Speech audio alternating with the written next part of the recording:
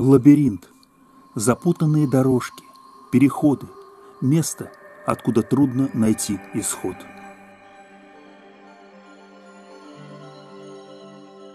На Карельском перешейке обнаружено загадочное место, где стали теряться туристы. Они приезжали в этот странный лес, начинали свой маршрут и запутывались в лабиринте скального рельефа. Таинственное место в народе прозвали «скальный лабиринт». Редко кто находил из него дорогу обратно. Так и в этот раз спортсмены из Петроградского клуба туристов устроили там тренировку.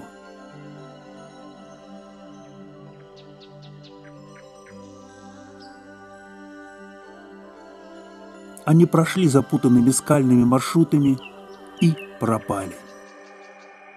Прошло время.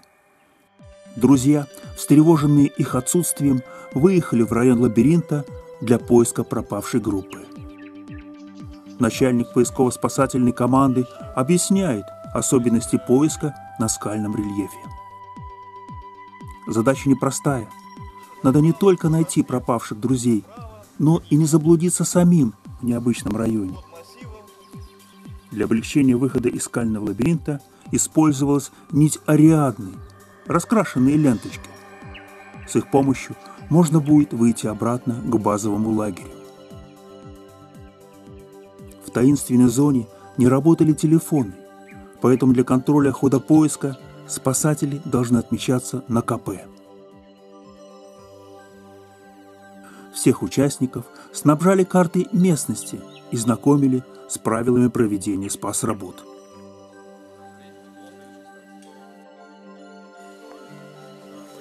Район поиска был условно разбит на несколько этапов. Этап камни – это сложный ландшафт местности, где лабиринт выложен огромными глыбами, и все запутано так, что можно долго ходить по кругу, не находя верный путь.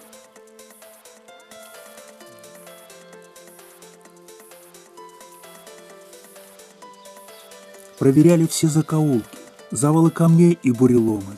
Вдруг кто-то из пропавших друзей просит там о помощи.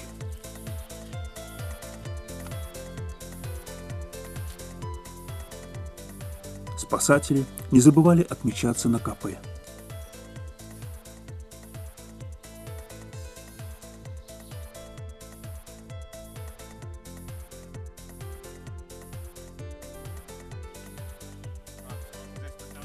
Надо торопиться. Каждая минута может стать роковой. Помогает нить Ариадны, которая в конце концов приводит измученных спасателей к выходу из этого загадочного круга. Усиленные поиски в зоне камней не дали успехов. Возможно, ребята заблудились в лесу,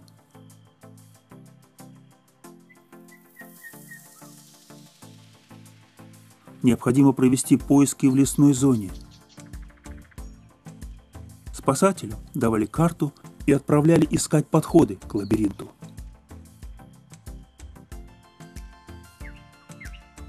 Все закоулки загадочного леса были осмотрены, но пропавших туристов там не оказалось. Самый сложный этап поиска – скалы – Тут необходимо снаряжение и достаточный опыт работы на скальном рельефе. Поэтому требования к спасателям особо.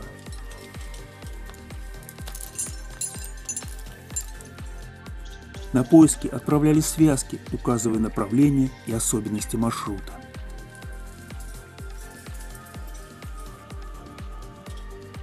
Участники, проходя мимо КП, отмечали свое присутствие.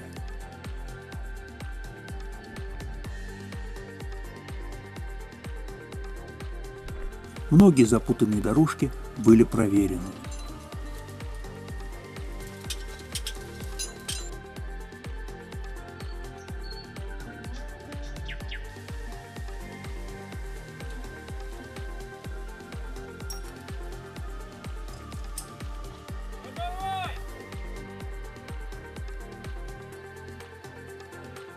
Несколько дней проводили спас работы. К большому сожалению, пропавших туристов пока не нашли. Все спасатели вернулись в базовый лагерь.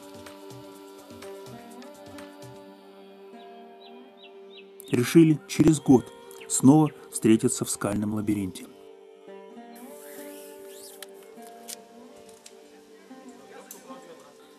Суть соревнований заключается в ориентировании. В ориентировании.